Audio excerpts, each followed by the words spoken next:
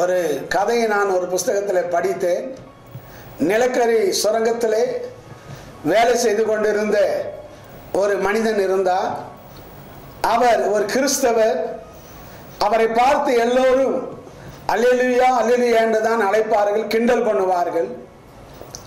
ஆனாலும் அவர் அதை பொருட்படுத்தாமல் அந்த நிலக்கரி சுரங்கத்தில் வேலை செய்து கொண்டிருந்தார்.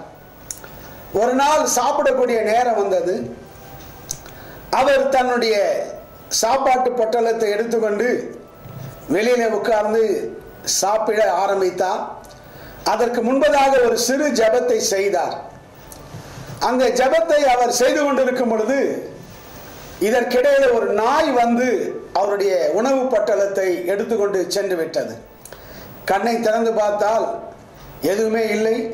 நாய் அந்த உணவு பட்டல் எடுத்துக்கொண்டு ஓடிவிட்டது. அவர் வேறு வழி இல்லாமல் அந்த நிலக்கரி சுரங்கத்தை விட்டு வெளியே வந்து வெளியில் ஒரு ஓட்டலில் சாப்பிட்டு விட்டு கொஞ்சம் தாமதமாக வந்து கொண்டிருந்தார்.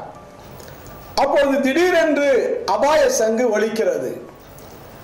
என்ன என்று பார்த்தால் மற்ற மக்கள் நேரத்துக்கு முன்பதாக சாப்பிட்டு உள்ளே வேலை செய்ய சென்று விட்டார்கள். எதிர்பாராத வகையில் அந்த நிலக்கரி சுரங்கம் இடிந்து எல்லாரும் மாண்டு போனார்கள். அங்கேதான் அதற்கு தான் அபாய சங்கு ஒழிக்கப்பட்டது. இவர் ஒருவர் மட்டுமே அந்த நாளிலே தப்புவிக்கப்பட்டார் இவருடைய வாழ்க்கையிலே தேவன் இதை நன்மையாக மாற்றிவிட்டார்.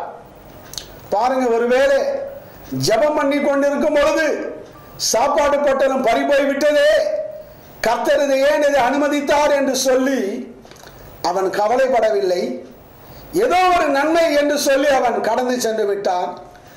அன்றைக்கு அவன் வெளியே போய் வந்ததினால் அவனுடைய உயிர் காப்பாற்றப்பட்டது. அருமையான தேவ பிள்ளைகளே உங்கள் வாழ்க்கையிலும் பல நஷ்டங்கள் பல துன்பங்கள் பாடுகள் ஏதோ இருக்கலாம். ஆனாலும் அவைகள் எல்லாவற்றையும் நன்மைக்கு அதுவாகவே தேவன் மாற்றி போட வல்லமுள்ள தேவனாக இருக்கிறார். ஆகவே அவருடைய தீர்மானத்தின்படி அழைக்கப்பட்ட மக்களுக்கு எல்லாமே நன்மைக்காக நடக்கிறது என்று சொல்லி நாம் கர்த்தரை ஸ்தோத்தரிக்க வேண்டும். எல்லாவற்றிலும் கர்த்தரை ஸ்தோத்திரம் பண்ணுங்கள் என்று வேதத்தில் வாசிக்கிறோம். யோகனுடைய வாழ்க்கையிலே பத்து பிள்ளைகள் மறித்தார்கள் பதினோராயிரம் மிருக ஜீவனங்கள் மறித்தது வேலைக்காரர்கள் வேலைக்காரிகள் எல்லாரும் அவர்கள் கொண்டு போடப்பட்டார்கள். சில வேலைக்காரர் மட்டுமே மீந்தார்கள். ஆனால் எல்லாம் போன அவன் சொன்னான் நான் தாயின் கர்ப்பத்தில் நிர்வாணியாய் வந்தேன்.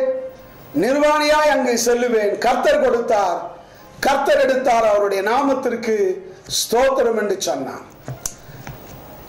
கர்த்தருடைய நாமத்திலே அவன் ஸ்தோத்திரம் என்று சொல்லி ஆண்டவரை இன்னும் அதிகமாக நேசித்தான் அன்பு கூர்ந்தான்.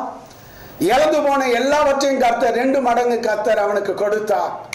மறுபடியும் பத்து பிள்ளைகளை கொடுத்தார். மறுபடியும் இரண்டு மடங்கு மிருக ஜீவன்களை கொடுத்து அவனை கத்தர் ஆசிர்வதித்தார். அருமையான தேவ பிள்ளைகளே நீங்கள் ஆண்டவர் மேலே அன்பு செலுத்தும் பொழுது ஆண்டவரை நேசிக்கும் பொழுது உங்கள் வாழ்க்கையில நடக்கிற சகல காரியத்தையும் அவர் நன்மையாகவே மாற்றி போடுவார். ஆனால் நாம் விசுவாசத்தை மட்டும் தளர்ந்து விடாதபடிக்கு நம்மை நாமே பாதுகாத்துக் கொள்ள வேண்டும்.